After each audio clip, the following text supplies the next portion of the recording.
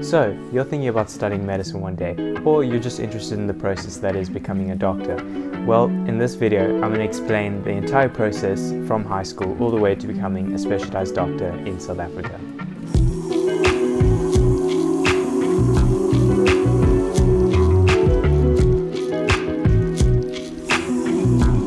Hey guys, what's up? My name is Matteo and I'm a third year medical student based in Cape Town, South Africa. So a lot of people don't understand that becoming a doctor in South Africa isn't as simple as just going to university, getting out and then eventually you're a doctor. It's quite a long process and there's a lot of studying, a lot of hours put into it that people generally don't know when they choose to apply for it. So I'm going to focus a bit more on the school and university side but also explain the entire process that is becoming a South African doctor. So I thought it would be helpful just to explain the ins and outs and the requirements to get in and essentially give you a bit of insight. As some people just choose medicine, you know, based on that they think being a doctor is cool or that they enjoy biology, which isn't a bad reason to choose medicine, but sometimes it helps knowing how difficult it can be and, you know, how long this process can be.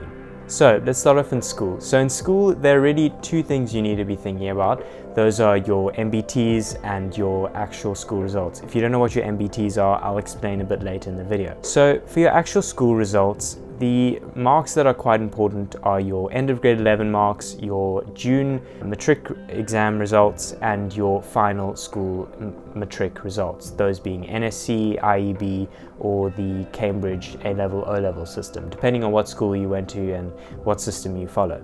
So depending on the university that you apply to, different marks can be a bit more important. For instance, for Stellenbosch University, which is the university I'm at, your grade 11 marks are probably the most important marks out of all three of those. The reason being is that you apply for provisional acceptance with the application process and once you get that provisional acceptance, especially at Stellenbosch, you can be quite sure to get that final acceptance. The reason being you just need to meet the minimum requirements to get in. And the minimum requirements really aren't that hectic. So especially at Stellenbosch, I would say those grade 11 marks are the most important. For other universities, I'm not 100% sure which marks are the most important, but it helps having great grade 11 marks because when you first apply you definitely do use those grade 11 marks and possibly your June marks from your matric year. However, I think your final marks in matric are probably more important for other universities, I would say. Everyone sort of wants to know when it comes to your marks in school, what marks should I be getting? Should I be getting 80%, 90% average? I guess there isn't really an answer to that. Unfortunately, every year it differs. Just in general, the marks are generally quite high and you do need to work fairly hard in school. Do you need to um, decide to do medicine from a very young age? No, you don't really need to do that. Some people decided very late in their time at school that they wanted to study medicine and they had the marks to do so. So it's definitely not something you need to decide from when you're really young, but it does help having a few years to prepare and know what you're getting yourself into and to know what you're working towards. So I guess the answer to what marks you need to get in, well, as high as you possibly can.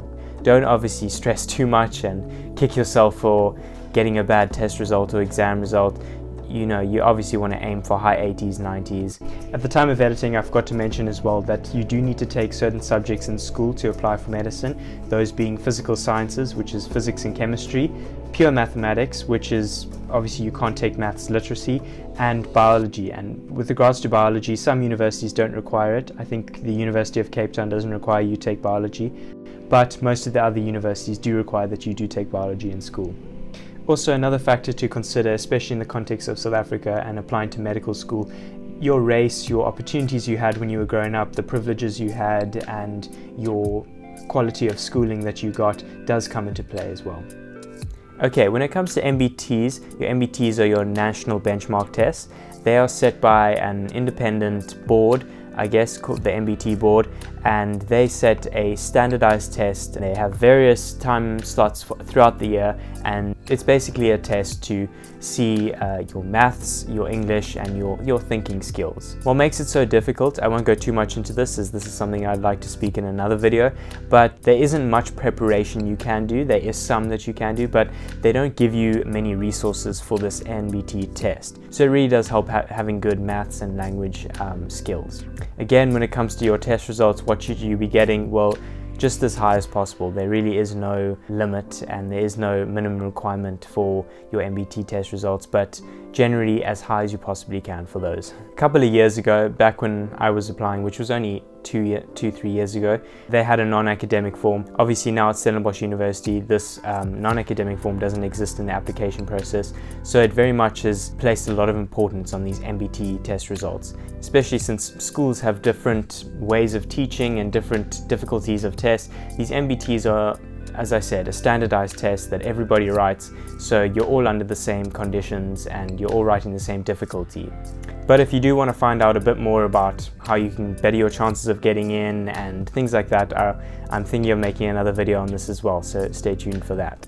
So as mentioned previously, you get a provisional acceptance into a university and then you get your final acceptance. Once you get your provisional acceptance, depending on the university, can be quite a positive thing to show that you've really just need to meet the minimum requirements. Some universities just use their provisional acceptance just to give you a, um, an idea that you're on track to get in, but it's definitely not final. So once you've got that acceptance, obviously people decline or accept their university applications. So this means that spots open up for others. So if you don't get that final acceptance a couple of weeks before university starts, then it's not all over because there are still some placements to give and that's where in the first week of university when it's generally an orientation week they can send out um, acceptance letters to people that didn't get accepted in the first place. If you didn't get in and it's been a couple of weeks since university started and you still didn't get that acceptance then you need to look into secondary options. So a lot of people study ABSC or other degrees or they just wait a year and then they use their final matric results especially at a university like Stellenbosch where I said the grade 11 marks are probably your most important. Sometimes it's worth, if you didn't get such good grade 11 marks, then waiting a year and then reapplying but using your matric results. Okay, so once you're in medicine, the process of finishing your degree is six years. Depending on the university you go to, some one university, I think it's the University of Free State, it's five years, but the rest of them are all six years. Now, six years is quite a long time to be studying, but uh, you definitely learn a lot. You definitely need the full six years. It's a lot of clinical training, it's a lot of theory to learn, and depending on your university, you'll follow a set program, and some differ from others.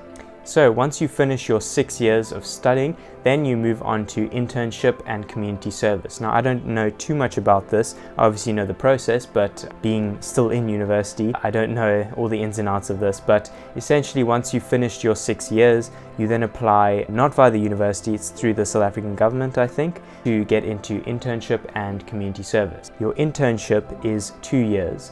In other words, you are now a doctor, you go by the title doctor, and you, you can practice medicine, you can prescribe medication, but you are essentially a junior doctor where you still are learning a lot. You have supervisors and doctors and consultants and registrars that are obviously more senior to you and teach you a lot, but you work in hospitals. And the application for this is quite random. Again, I don't know too much about the process of choosing which hospital you go to, but essentially you are allowed to pick hospitals in certain areas and you're only allowed, I think, one hospital in an urban area and then the rest have to be in a rural area, something like that. Then after you've done your two years of internship wherever you are, you then apply for community service. And this is where you're sent to a rural hospital and this is where you get a lot of experience. You're a bit more trained and you have a lot more experience uh, from your internship years. You're a bit more of a senior doctor. After this, you're essentially a GP, a general practitioner. So the process of really studying medicine is actually nine years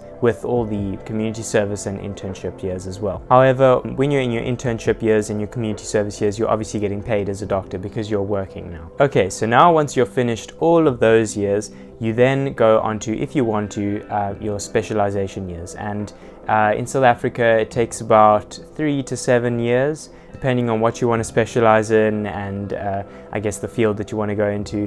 So again, it's a lot more years, but you're also working, you're learning, and you're getting a lot more experience. So yeah, becoming a doctor isn't really just one of those things where you get your degree and then you're off to go work and you're in your job that you want to be in.